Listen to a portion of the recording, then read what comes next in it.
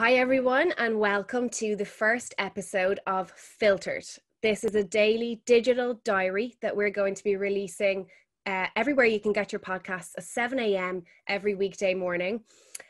I'm Megan Cassidy, Managing Director of Lovin Media Group, and I'm joined by Jamie Heaslip. And I have to, we just have to address the elephant in the room.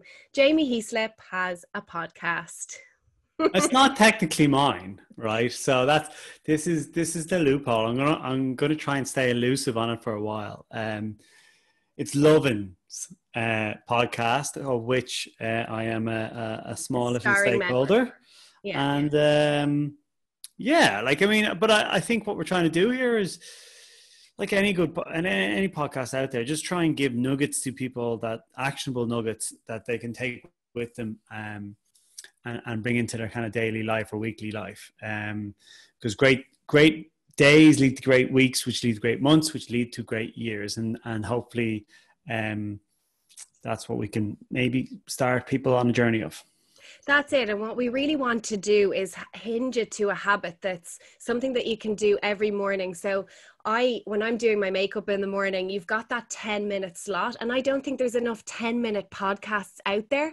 It's so hard to commit to that longer 35 minutes to an hour and it's broken up. This is a 10 minute really actionable kind of a few insights on something really specific we're going to try and keep it really laser focused on what the topic is of the day and not too philosophical uh, not too big picture stuff that that you can actually action it that day um, after finishing the podcast. So whether it's especially as well because because if you think about it the commute's gone mm. for, mo- for most of it. So yeah, it's, if anything, you're probably trying to you know, ram that into that 10 minutes where you're, you get to walk out of your house for, you know, 10 minute walk, 15 minute walk and, and, and just something that you can consume. Or like you said in the morning when you're getting ready, um, when you're getting the hair done or doing the face or doing whatever it is that you do in the morning. Um, and that's hopefully we'll be able to add value to people in that way.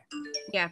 So I think it's so important to keep routine at a time like this and anything that you can do to kind of punctuate your day that's regular that happens every day i'm seeing people on instagram the people with kids are the ones that seem to be coping really well when it comes to getting themselves up in the morning. The kids have the routine now with getting to school. I'm seeing people out doing their walk straight after the kids are in school, um, getting the wash on, and it's so um, it's so kind of planned and productive whereas when i've got that bit more freedom because i've obviously got no kids it's harder for me to motivate myself to get up stick to the plan you know make sure the feet are under the table by 9 a.m so anything that kind of fosters a routine i think is super important the topic today is really really quite broad.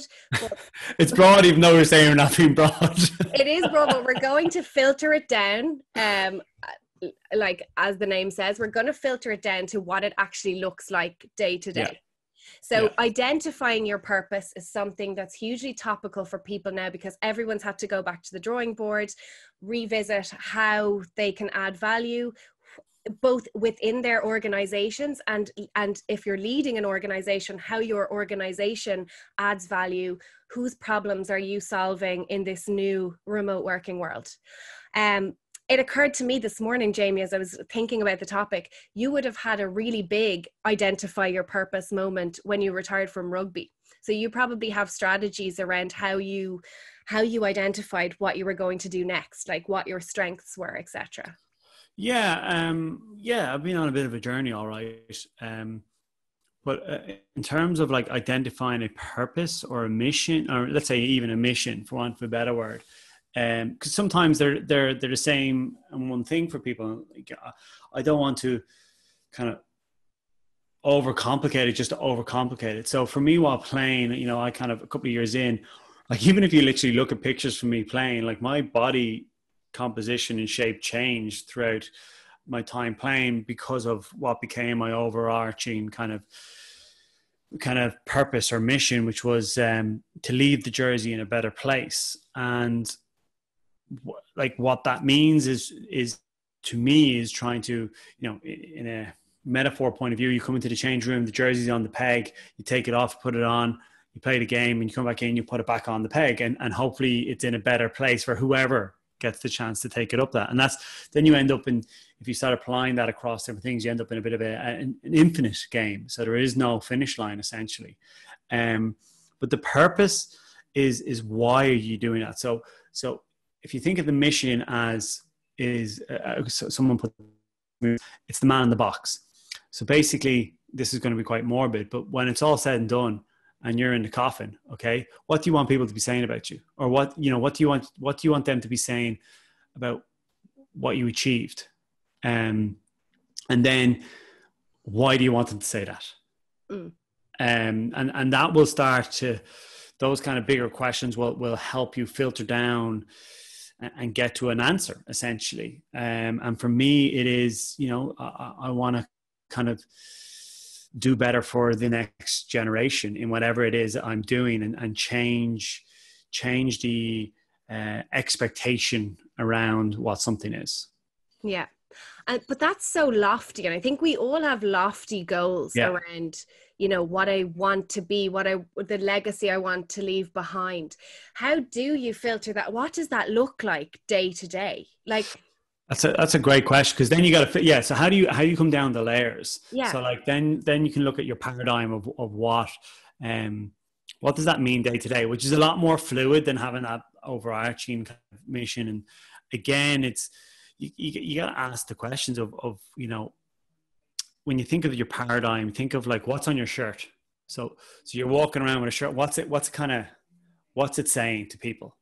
And I suppose that that becomes um, your theme or your theme song or something like that. Um, and then from that, you can establish, you know, your your your guidelines, which could be think of them like the cogs of a watch. You know, the things that are important to keeping you ticking over. You you know, you see the, the, the surface of a watch and it looks beautiful and it's all working, but but what are the big cogs underneath that that are important to you in your life? So for me, uh, you know first you know it's it's like family it's uh, career it's um, uh, health is a, is a big one um, and then you got kind of growth i suppose and then you got personal goals. So they're kind of like the big ones for me and um, sometimes family and and i put that into relationships so it's like friends and stuff like that but they're the big ones that i know that if something's out of balance that's where i go to. They're the guidelines as such and then you you know you establish what your values are. A really good way of establishing what your values are is I go like, what's your values? You might not know, but I was like, okay, what do you hate? Hmm. What do you hate? People, some people are like, oh, I don't hate anything. That's a lot of shit. Someone always hates something, right? Hmm. Um, you'll start seeing, asking yourself those kind of questions. You'll see what you find important to you. Mm-hmm. Um, all those questions from from from what we said of being in a coffin to all the way to what do you hate those kind of questions will start serving up these answers yeah and I think when we identify what our priorities are, there's a lot of talk about balance and making sure that yeah. you're devoting equal time to to all of your priorities. But it's not really so much a balance in daily practice. There is a weighing scales, and that's okay as long as you are prioritizing the things that are getting you closer to that end point. Um, like so if I look at, okay, what am I good at? How do I identify my purpose, say, within the organization of Lovin Um, you look at what you're good at, what you're passionate about, and what the company needs from you. And when I stepped up to managing director, my talent had been with audience, and I focused too much on the commercial side. And we've talked about that before.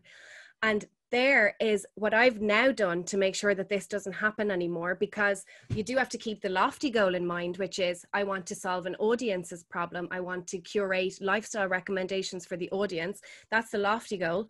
Day to day now, I'm retro calendar blocking so that when I look back on my calendar, I'm I can see literally by color how I've spent my time that week and whether that reflects my priorities. So instead of planning ahead on the calendar, I retro plan. So I'll sit down at the end of the day and I'll mark out I actually ended up spending 2 hours on admin today. So so I would challenge you in that Megan, right? Okay.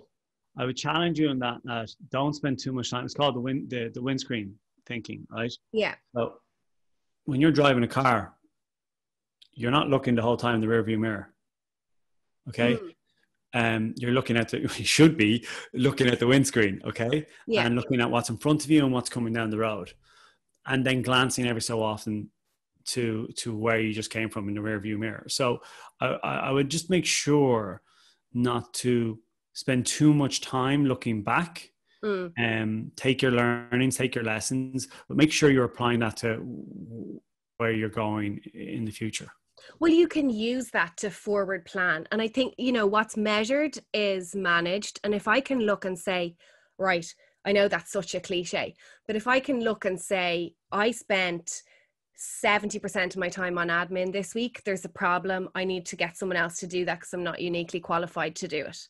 So yeah. that's where then I look forward and I say, right, this is how I'm going to fix that and i think being really open to like not being surrounded by sycophants is really important as well. And i certainly in our company we're a young company and people will say to me i think you're spending too much time on this and you're not spending time on on why and i'll hear that and I, criticism is great. And you'll go okay go home and think about it. If that's true how can i then block out next week's calendar to make sure i'm not spending time on things that don't get me towards that end goal well, a really, really good tool to use is a thing called Time Matrix. You know, you just split it up into into four areas of uh, important, not important, uh, urgent, uh, not urgent, mm. and um, just kind of box off, like place it where you're spending your time or different tasks or focuses into those boxes, and you very quickly see where where you have to be. You know, and you know you probably have to spend a lot of time ideally in that strategic thinking area, which is which is important but not urgent. Mm. But but then you end up a lot probably in the important and urgent category because of things that pop up. Okay, mm. but um, there's things that take away that like meetings, you you know meetings, calls, and these sort of things where you, that they actually are quite deceptive in mm. terms mm. of being important when they really aren't. Um, but you're right. As long as you are looking back, taking those lessons and applying it going forward, and um, you know that's the only way we'll we'll we'll grow. Yeah. I'm seeing people now because people have fa- are faced with adversity that they would have never anticipated doing the things that they were always meant to do that they're really really good at because they're kind of starting from ground zero. No one making making sourdough bread bread though. I just don't think that was everyone's overarching goal through COVID. And people are seeing making sourdough bread, which is lovely, and um, everyone getting on the sea swimming buzz right now, which is great to see because I'm a big sea swimming fan. Yeah. But um, I hope that people have also because it's been difficult. It's, it's, very easy for to say, "Oh, you should all have time to follow your passion." That's not necessarily true because mm. we all had to adapt to um, working from home. If you hadn't worked from home already, you had to um, things like using Zoom or Google Hangouts or Teams or mm. whatever the other ones are. And um, there's so many different ones. And um, getting used to that dynamic as well, and then getting used to not being around as many people because a lot of people, you know, but most people, a lot of people need to be around communities, need to be around their own little tribes, and, and work is a big part of that. For and for that to be away is difficult for people not to be engaging um, with people. So it, it's probably taking a lot of time for people to adapt and now may, now maybe they're kind of thinking okay how do I how do I use this time better and I think you touched on it earlier about they're realizing going okay if, I, if I'm organized here I can actually have a really good I can be effective in work and I can actually get a lot more out for myself and then I can get a good balance with the family and kids or friends whoever it may be yeah, and there is more time now to focus on those things that were more important to you. You've got, you know, your hours of commutes, although I think we're offsetting that time with the delays on Zoom. Um, I'd say we're losing serious minutes at the end of the month. But yeah, I think you have a good point there. Go easy on yourself as well. It's a really challenging time if you don't know what your greater purpose is. And if this has made you really sit down and, and say, right, I don't know what I'm good at. I've lost my job. I don't know what the future is. I think as long as you're asking the right questions of yourself, even if you don't have the answers, you're asking the right questions. What do I love? What am I good at? And what does the customer need at the moment? Um, Jamie, that's us for this morning. That's flown in. Um, if you've enjoyed this episode, make sure that you subscribe everywhere you get your podcasts. We'll be live Monday to Friday, 7 a.m. Um, and we'll see you here tomorrow morning, same time. Take care.